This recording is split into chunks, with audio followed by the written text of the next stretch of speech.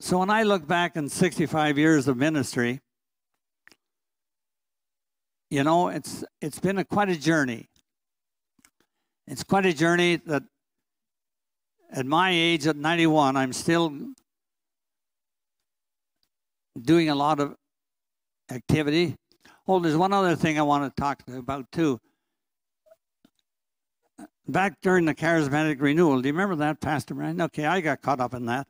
And it was great. It was really great. And uh, myself and I had a lot of lay people who we trained as prayer partners. And we ran a prayer house over in Armour Road, the edge of Peterborough. And uh, we were open there from morning till late afternoon. And people came just for prayers. So we had the prayer partners there that prayed with people, and I acted as counselors. And we had it for several years. And uh, when I talked to some of the psychologists and psychiatrists at Civic Hospital, they knew a lot of their patients were coming to the prayer house for prayers, that they wanted the spirituality as well as the skills of the psychiatrists and psychologists. People were hungry for the Spirit as well, and how the prayer house. And after a while, I realized that I needed to be more, be better trained in counseling. And I met, I met the motorcycle lady here before the service. Where is she? yeah. Anyway, yeah, right. Well, I went out one day with an OPP officers with the golden helmets and said, Teach me to ride a motorcycle. So he taught me how to ride a motorcycle. now I had to make a choice. Do I buy a motorcycle or do I go back to university? well, I did the painful thing. I went back to university and got my degree in pastoral counseling, but I also knew there was something missing. And so there's a clinic in Philadelphia. And I went down to the clinic in Philadelphia, and they were a spirit, very, they were both psychologists and therapists. All they did was therapy. And, uh, but it was a spirit one, spirit led one. And in their sessions with a client, the psychologist would be doing his thing with his skills and strategies, but also had a co-therapist, and the co-therapist would sit there and pray, and the spirit, the word of knowledge, and then the person who had the word of knowledge would whisper to the psychologist, and it would short circuit by months, probing, thinking, because a client comes and presents with a present, presenting problem, but not the depth, deep problem. But the spirit, the word of knowledge, would give that to the prayer person. They would share it with the psychologist, and the healings which take place are phenomenal because of working together. And the other thing they taught me was how to use faith, how to use use faith imagery in healing. I really got deeply involved in the healing ministry, and it wasn't that I healed very many people physically, or God through me, but the one thing which it seemed to work well for me because I was so intuitive was the healing of inner healing, the healing of memories, the healing of trauma, uh, the healing of life hurts. And that is something that came a specialty in a sense. And so for many years, I had I practiced uh, had the practice of counseling. And uh, so many people came saying, we want the spirituality as well as, and so being able to, I never had any person, not once, whether they were a, a Christian or whatever the religion they might be, or an atheist, I never had one person say, I don't want to be helped. If Jesus can help me, I'm all for it.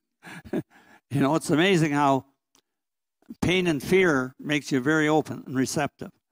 And so, but the healings I saw taking place of people who've been dragging trauma and, and inner healing and painful memories for many, many years.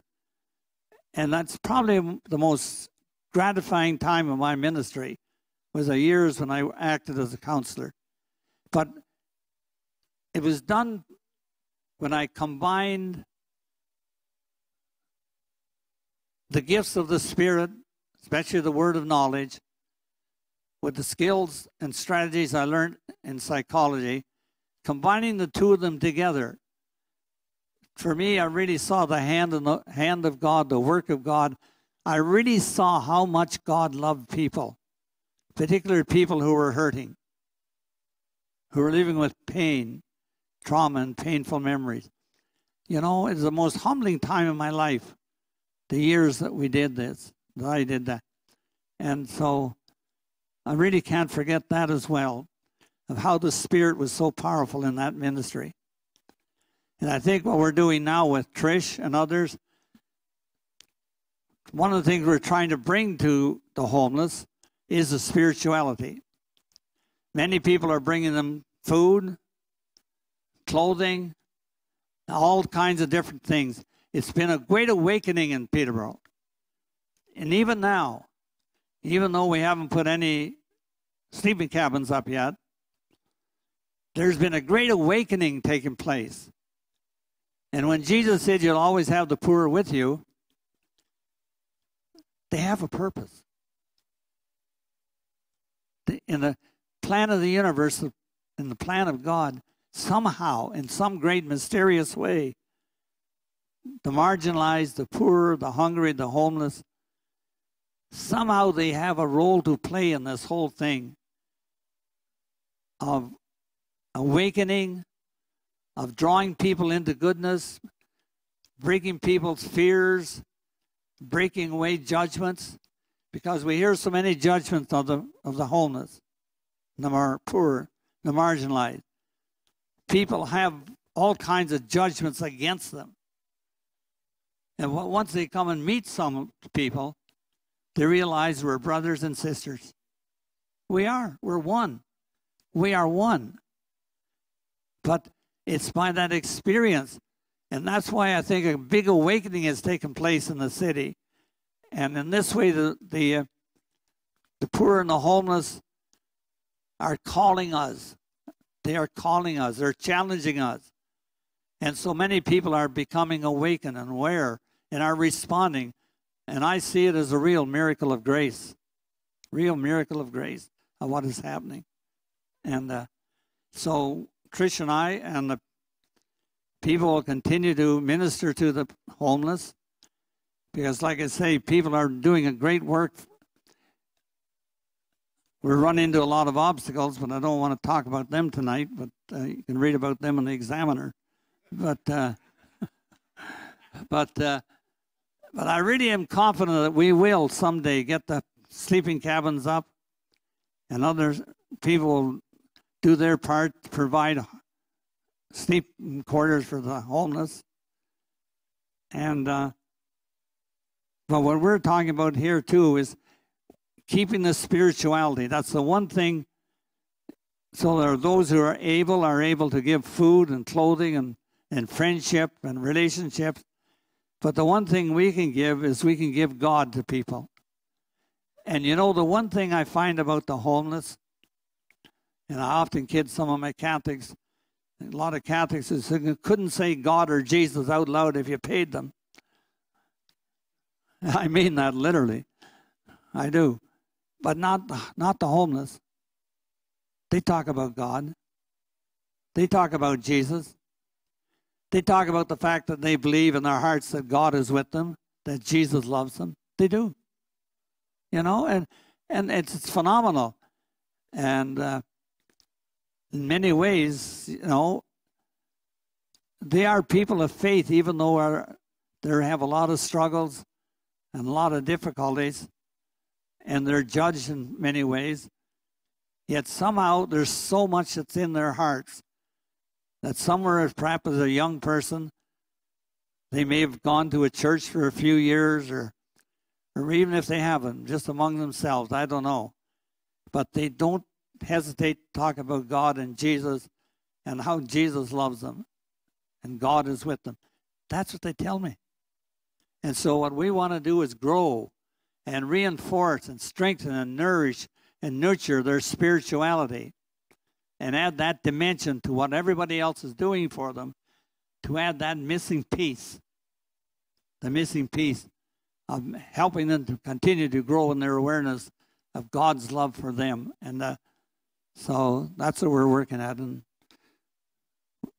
Trish here with her good work that she's doing and uh, and other people we're going to keep doing it. Anybody any questions that want to fire at me?